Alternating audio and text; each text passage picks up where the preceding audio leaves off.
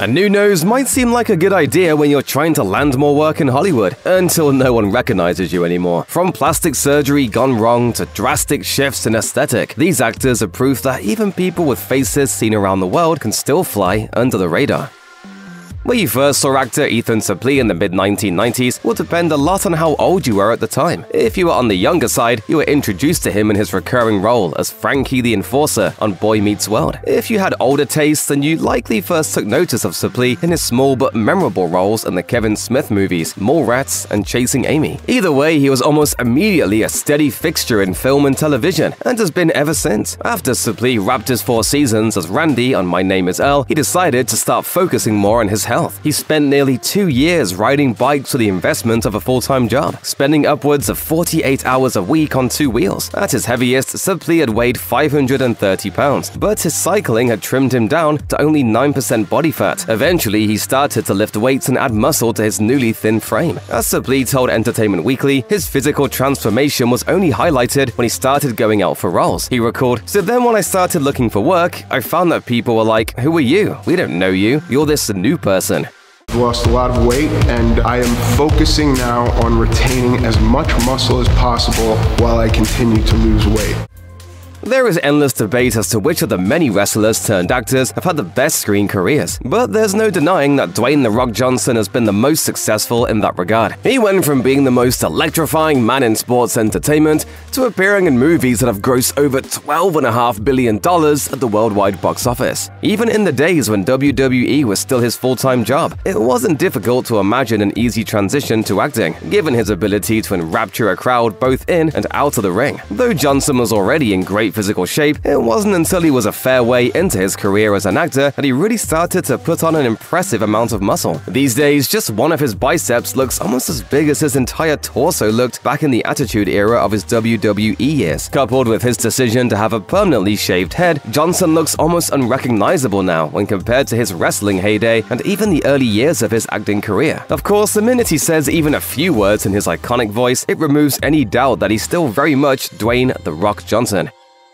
It's impossible not to talk about actors who have seen drastic physical changes over the years without bringing up Mickey Rourke. In the 1980s, Rourke was one of Hollywood's go-to actors when it needed someone who was traditionally handsome but with a slight bad boy edge. Starring opposite Kim Basinger in the boundary-pushing erotic drama Nine and a Half Weeks helped launch him to a whole other level in 1986, one that he unfortunately struggled to maintain due to various issues in his personal life. Rourke was an amateur boxer before he was an actor and decided to give that another shot in 1991. He reportedly made the decision after feeling like he had no respect for himself being an actor. Rourke proved extremely skilled in the ring and actually went undefeated during his eight fights as a professional boxer between 1991 and 1994. But just because you win the match doesn't mean you didn't take a beating. Due to all the injuries to his face from his time as a boxer, Rourke needed facial reconstruction surgery to fix the damage. But as he told the Daily Mail, I went to the wrong guy to put my face back together. Subsequent plastic surgeries followed to try to repair the damage done by his boxing injuries and the botched surgery to correct them, leaving Rourke almost unrecognizable from his time as one of Hollywood's most promising leading men.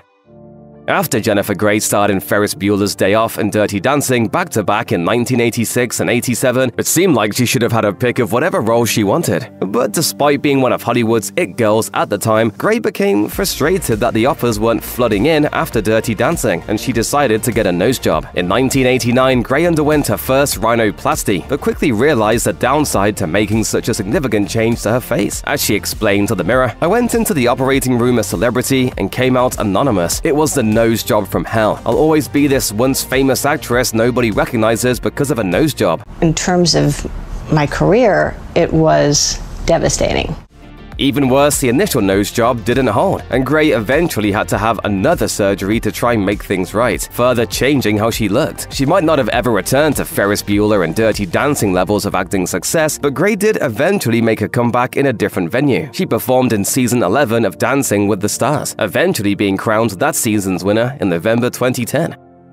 While Johnny Depp's first screen credit was in the iconic A Nightmare on Elm Street, it was on TV's 21 Jump Street that he first achieved breakout success. It's hard to imagine the Johnny Depp we know now being a clean-cut character on a network television show and adorning the covers of teen magazines, but that's the exact persona most of the world first saw him adopt. The thing about Depp is that he's known for completely disappearing into his roles. Many of his characters look completely different from one another, and often quite different from Depp himself. But that doesn't change how different Depp looks now compared to when he first started acting. In addition to the normal effects of aging, Depp is better known today for a more relaxed look that includes unkempt hair and a somewhat scraggly goatee. And unless he's at an event that requires formal dress, he is most commonly seen wearing 90s era grunge attire like flannels, jeans, and knit hats. In other words, he's as opposite as he could possibly be from his 21 Jump Street character Tom Hanson, something that was played to comedic effect when Depp agreed to cameo as a character in the 2012 21 Jump Street film. The bracelets, the rings, the tight pants. It was just so that people would think I'm cool. After playing Laura Palmer's best friend on Twin Peaks and Wayne's ex-girlfriend in Wayne's World, Lara Flynn Boyle quickly became a rising star to watch in the early 1990s. She continued to balance both movie and film roles throughout the decade, though it was her role on legal drama The Practice that brought her the biggest critical acclaim of her career. Sadly, as was far too common among actresses of the era, Boyle was a frequent target of intense tabloid scrutiny. In particular, she was constantly dogged by rumors that she had an eating disorder, owing in part to her petite frame. As she got older, that tabloid scrutiny turned into assumptions that Boyle had gotten plastic surgery, with publications alleging various features of her face resembled those of a person who'd gone under the knife. Boyle, who has always tried to keep a fairly low profile off screen, has never acknowledged getting any plastic surgeries, though that hasn't stopped article after article from stating that she has. Still, the truth of the matter is that Boyle does look very different today than she did when she was at her most prolific, whatever the reason might be.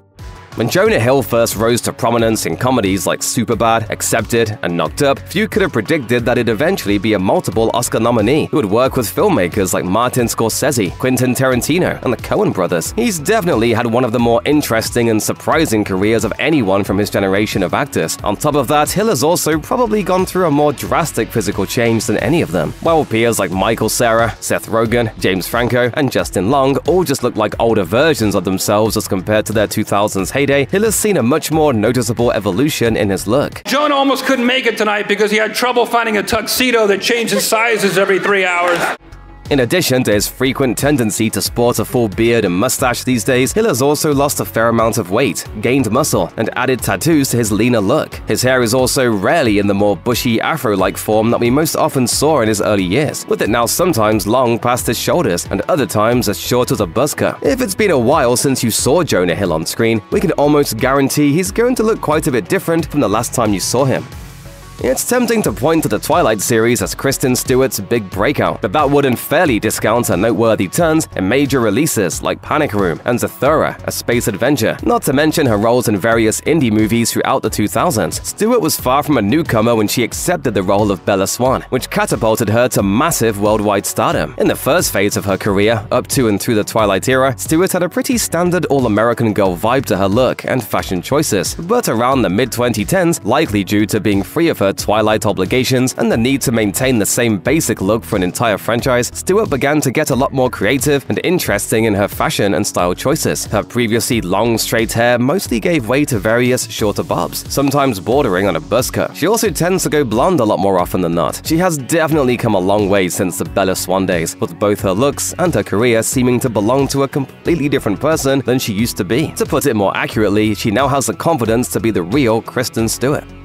Renee Zellweger was a consistent presence in film throughout the 1990s and 2000s. You can pick any number of roles as her most iconic, and there wouldn't be a wrong answer. From the titular Bridget Jones franchise, to Dorothy Boyd in Jerry Maguire, to her Oscar-nominated role as Roxie Hart in Chicago, to her Oscar-winning role as Ruby Thewes in Cold Mountain, she built quite a filmography. She worked steadily until 2010, when she took a self-imposed hiatus after that year's My Own Love Song. When Zellweger started wading back into the limelight around 2014, various media media outlets took note of what was seen as a change in her appearance. Naturally, the immediate assumption was plastic surgery, and Zellweger initially took all the speculation about her appearance and the presumed reasons why she must have felt compelled to go under the knife as a major blow to her ego. However, she eventually decided to see the bright side of all the scrutiny. Reflecting on that period a few years later, she told People magazine, I'm glad folks think I look different. I'm living a different, happy, more fulfilling life, and I'm thrilled that perhaps it shows. Zellweger has chosen to neither confirm nor deny that she had plastic surgery. She's instead content to let people know that no matter what they think about her appearance or her choices, she's comfortable in her own skin and living her best life.